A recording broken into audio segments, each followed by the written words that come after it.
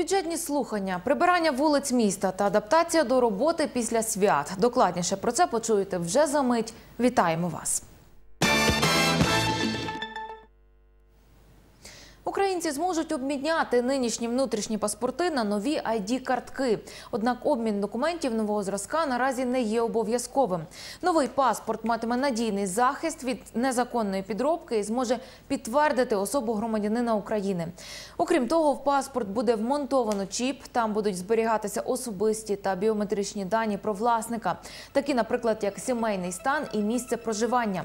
Повністю перейти на нові документи в державі планують за 4-5 років. Першочергово пластикові паспорти даватимуть громадянам, які досягли 16-річного віку. З 11 січня Державна міграційна служба починає оформлення нових документів. В першу чергу це оформлення стосується громадян, які досягли 16-річного віку та оформлюють паспорт громадянина України вперше. І це безкоштовно. Що потрібно для оформлення паспорта? Громадян, який досяг 16 років та ще не отримував е, паспорт, він е, звертається до підрозділу міграційної служби за місцем проживання. Е, Та він повинен мати при собі свідоцтво про народження. Ніяких фотокарток він приносити не потрібно. Фотографування відбувається на місці і це безкоштовно. Ми рекомендуємо також громадянам мати при собі ксерокопії паспортів батьків. Це потрібно, це пов'язано з громадянством, але це не обов'язково. А вже завтра головний фінансовий документ Львівщини затвердять обласні обранці. А сьогодні представники громадськості обговорювали місцевий бюджет. Цього року бюджет нашої області складе майже 800 мільйонів гривень. Ці кошти спрямують на ремонт автошляхів, розвиток освіти та медицини. Розширять і розмір соціальної допомоги для військових, які служили в зоні АТО та для підтримки сімей загиблих воїнів. Також виділять кошти на підтримку мікропроєктів та комплексних програм. Однак під питанням залишаються відшкодування пільг на перевезення для соціальних верств населення. З цього приводу обласні обранці та керівники райдержадміністрації Львівщини збиратимуться, звертатимуться до Києва. Ще залишається відкритим питання із фінансування діяльності профтехучилищ. В бюджеті області закладено на це 130 мільйонів гривень. профтехосвіта, ветеринарна медицина, пільгові перевезення, ми їх самотужки на рівні обласного бюджету не вирішимо. Ми це добре відчуваємо, просто немає фізичної можливості закрити це за рахунок ресурсу, який є наявний в обласному бюджеті. Відтак, ми хочемо максимально консолідувати зусилля всіх голів місцевих рад і депутатського корпусу Верховній Раді від Львівщини, щоб ми все-таки зрушили це питання на рівні ну, якоїсь реальної позиції е, стосовно того, як ми питання будемо вирішувати. Цього року вдвічі практично збільшені е, ресурси на е, програми, які фінансувалися минулого року, того року також вони будуть фінансуватися. Ну і звичайно визначені пріоритети програмні. Це є і дороги, це є і підтримка спорту, і це є енергозбереження як в бюджетній сфері, так само і е, серед населення. Місті оголосили конкурс на найкращу ідею реформування кінотеатру Львів. До 20 березня чекають пропозиції від львів'ян та громадських організацій. Комісії з питань розвитку культури зазначають, проект має бути комплексний в межах розвитку Стрийського парку. Докладніше далі.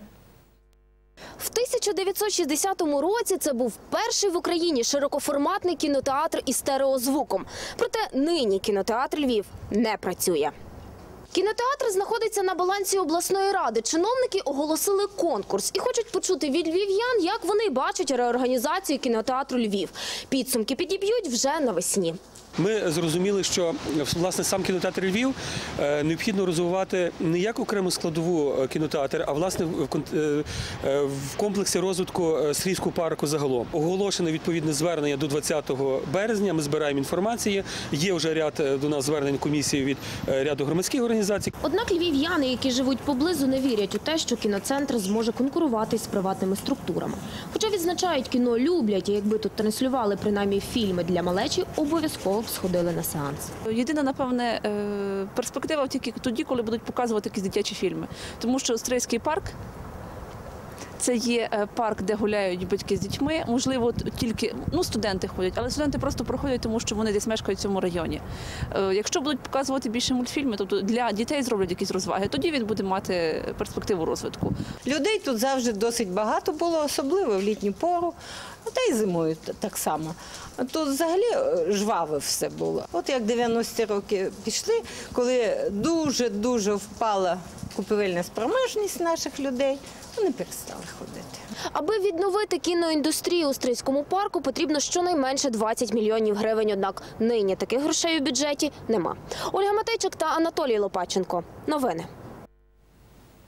Сезон зимового прибирання у розпалі. Зранку вулиці міста прибирали майже три десятки одиниць спецтехніки. Однак львів'яни бідкаються, в основному розчищають лише центр міста, а спальні райони позбуваються снігу лише завдяки сонячним променям. Дещо зріс і показник побутового травматизму. Лише в одну лікарню міста по допомогу звертаються понад півсотні людей щодня.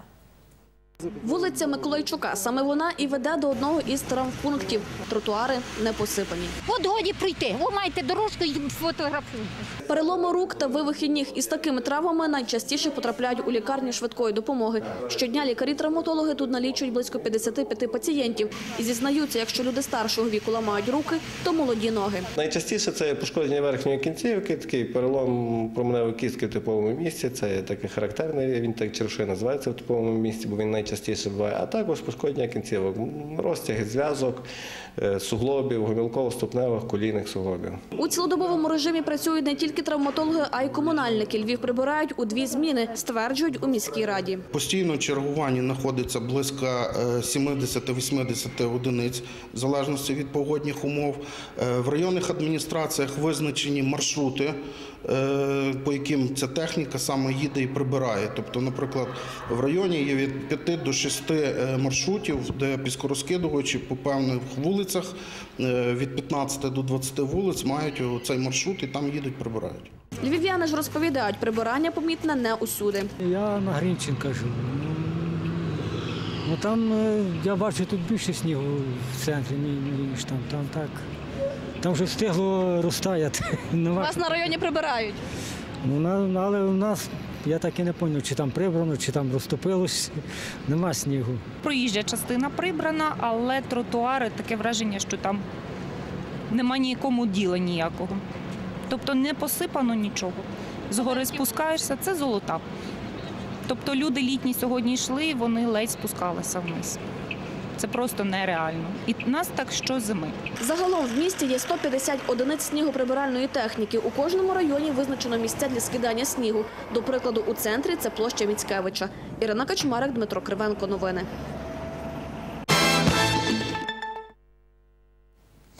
Зранку 9 січня від інфаркту помер наш колега Омар Узарашвілі. Сьогодні відправили за упокійне богослужіння за відомим львівським журналістом. Він був одним із найвідоміших українських журналістів, котрий не боявся говорити правду і спеціалізувався на кримінальній тематиці. Близько 20 років Омар очолював відділ криміналу в газеті Високий замок. За свій вік написав безліч статей і видав кілька тематичних книг. Найвідоміша з них Львів бандитський, у якій йдеться про історію львівської мафії 90-х років. За погодженням етнічний грузин, адже до Львова переїхав разом із батьками у 15-річному віці. Він був справжнім патріотом України, захисником правди і добра. Таким знали його рідні, друзі та колеги по роботі. Таким він і залишиться у нашій пам'яті.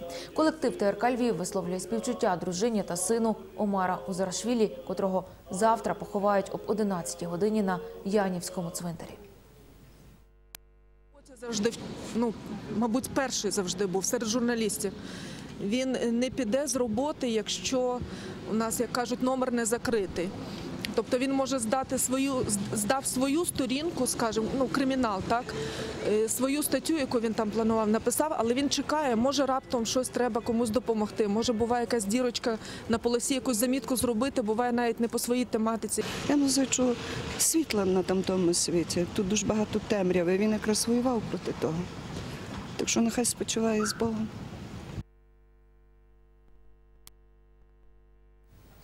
Вже десятий рік поспіль Львовом пройшов парад звіздарів. Похизуватися власними різдвяними зірками приїхали понад сотня майстрів з усього регіону. Звіздарі традиційно рушили від Домініканського собору площою ринок до оперного театру. Попереду ходи, зоря миру із зображенням голуба посередині. Це символ десятої святкової ходи. Різдвяна ж зірка символізує народження Ісуса. Майстри виготовляли їх з найрізноманітніших матеріалів та різного розміру. Кожна мала від 8 до 18 променів. Найбільша ж зірка сягала в діаметрі трьох метрів. Ми робили з безлічі різних ну, таких бомбонів, ниточок. От, старалися, щоб вона була найбільш такою кольоровою. Е, ну, Справді, бо кожен колір має свою символіку. Е, Блакитний то колір неба, білий то колір невинності, чистоти, червоний це колір радості. Вирішили е, активно брати участь у різдвяних святах. Ну і відроджувати українські традиції. Ми і костюми спеціально собі заздалегідь е, підбирали, так, щоб, е, щоб це було гарно, як колись. Коляди, забави та свято Пампуха. У Львові три дні святкували Різдво в Шевченківському гаю. Саме дійство організовують вже четвертий рік поспіль. Цьогоріч посвяткувати прийшло більше 10 тисяч відвідувачів. Ця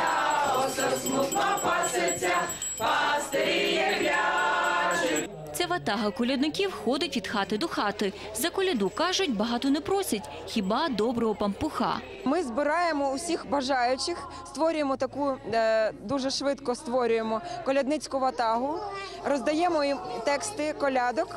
А якщо стало холодно, то можна і гуцульського плеса задати під стару українську коляду. На дворі притки, холодно влитки, пустіть до хати, будем плясати. А ще в гаю вчили робити ляльку-мотанку – найдавнішу українську іграшку, сакральний символ мудрості та берегині роду. Колись раніше брали сюди, вставляли качан кукурудзи на це і обмотували. Тепер ми не вставляємо, ми робимо ляльку як оберіг. Можна то сховати під низ, вставляти всерединку в тіло. Ну і звісно, яке ж різдво без смачного пампуха з маком, варенням та фруктами. Кожному на вибір. Організатори кажуть, за три дні відвідувачі свята з'їли не одну тисячу пампухів. З полуницею, а в мене ще з цукровою пудрою. Я вперше куштую такий добрий пампух, так що я новичок в цьому. І, очевидно, не вмію їсти, тому що шоколад по всьому лиці. Зараз попробую і скажу. Смачний мусить бути смачний. Такий самий, як і домашній. Впродовж трьох днів в Шевченківському гаю лунали автентичні коляди та виступали вертепи.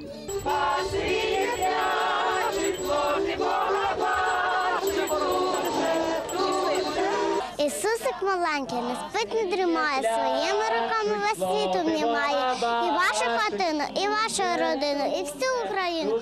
Христос це рождає. Ірина Кунинець, Анатолій Киричук. Новини. Робочі будні після тривалих вихідних важко знову повернутися до звичного робочого ритму. Хочеться продовження свята, але аж ніяк не на роботу. Як увійти в робочий ритм після святкових вихідних, дізнавалася наша Ольга Тимуляк. До звичного робочого ритму кожен повертається по-різному. Ми запитали львів'ян, як вливаються у трудові будні вони. Нормально, досить свят. Всього має бути в міру, потрошки. Добре, треба відпочивати в міру. Треба працювати, скільки можна святкувати. Вже забагато трохи тих свят. Ну. Досить навіть добре, що почалася робота, тому що трохи забагато 4 дні. Ще хочеться святкувати, святкувати. Таня Баріста готує каву уже більше трьох років. Каже, її робота це задоволення, а тому свято для неї продовжується навіть тоді, коли працює. Зранку головне було посміхнутися і настроїтись на хороший робочий день і на хороший 2016 такий ударний робочий. Психологи стверджують, повертатись до робочих буднів слід поступово. Перший робочий тиждень має плавно перейти від яскравих святкових днів до трудових буднів. починати поволі. Тобто не відразу кидатись так на амбразуру. Можна завчасно до цього теж готуватися. Тобто, наприклад, не приїхати в останній день напередодні робочого дня, а приїхати хоча б з відпочинку або там, де ви були, приїхати хоча б за добу для того, щоб адаптуватися в ось цей перехідний спосіб. Наступні довготривалі вихідні очікують українців аж в травні на Пасху. Будні будуть веселими і цікавими, якщо робота є улюбленою і приносить задоволення. Повертатись до неї завжди приємно і неважливо, скільки було вихідних. Ольга Тимуляк, Сергій Медведєв. Новини. Все. 242 09 27 – це номер телефону гарячої лінії новин. Більше інформації на інтернет-порталі lviv.tv. Підсумуємо день о 20.30, тоді і зустрінемось.